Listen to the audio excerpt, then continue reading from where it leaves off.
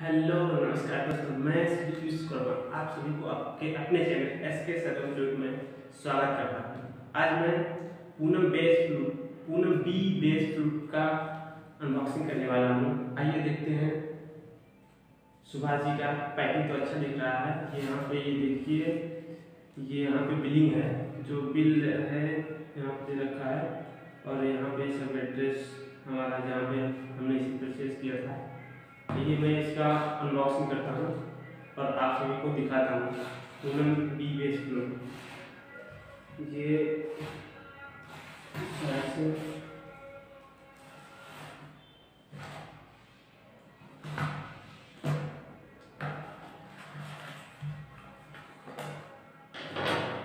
ये दोस्तों, देखिए, इसके अंदर अच्छा खासा कवर लगा हुआ है।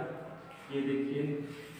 इसको साइड में रखते हैं ये फ्लूट को सेफ़ रखने के लिए अगर हम कहीं बिल्ली ले जाते हैं तो उसको हैंडलिंग करने के लिए यहाँ देखिए, यहाँ पे हैंगर दे रखा है।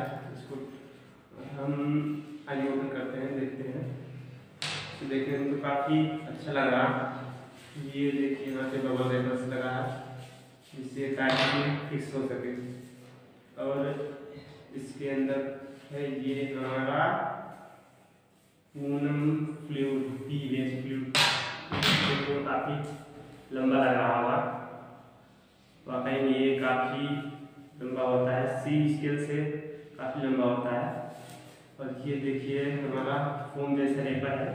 इसमें लपेट के मिला है, जिससे ये डैमेज ना हो, रास्ते में डिलीवरी दिखाई वापस में। आइए इसको खोलते हैं, देखते हैं। ये देखिए दोस्तों ये हमारा पूनम बी बेस फ्लूड ये मैं क्लियरेंस सेल पे इसको परचेज किया था, इसलिए थोड़ा यहाँ पे दाग धब्बे हैं। इसी दाग धब्बों की वजह से ये क्लियरेंस सेल पे हमें मिला है। और ये देखिए यहाँ पे आपको शायद दिख रहा होगा, ये सुभाष जी का लोगो है, यहाँ पे ओम लिखा हुआ है। और ये बी बेस फ्लूड है। और दोस्तों ये इसका केस है, जिसमें ये रखा जाता है। ये काफ़ी अच्छा होता है। इसके अंदर देखिए, प्लास्टिक का केस लगा है, जिससे ये आप निकल रहा है। दोस्तों ये देखिए, ये इसके अंदर फ्रूट रखा जाता है। और आप लोग भी इसे परचेज कर सकते हैं। अब ये काफ़ी अच्छा होता है। कि इसका साउंड एक बार चेक कर लेते हैं कैसा है?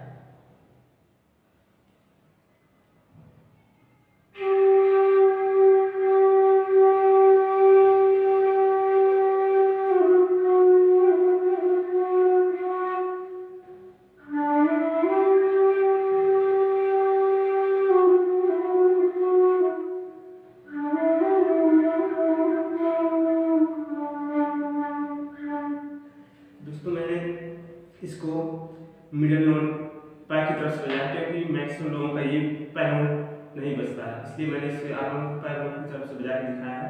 ये काफ़ी खूबसूरत बेस फ्लूट है। इसकी आवाज़ में देखिए कितना गमक है और बेस है। आप भी अगर परचेज करना चाहते हो तो इसे परचेज कर सकते हैं। थैंक यू दोस्तों, हमारा वीडियो देखने के लिए आप सब हमारे साथ ऐसे बने रहिए। हम आप लोगों के लिए तरह तरह के फ्लूट कवर्स और इसी तरह अनबॉक्सिंग फ्लूट लाते रहेंगे। थैंक यू धन्यवाद दोस्तों।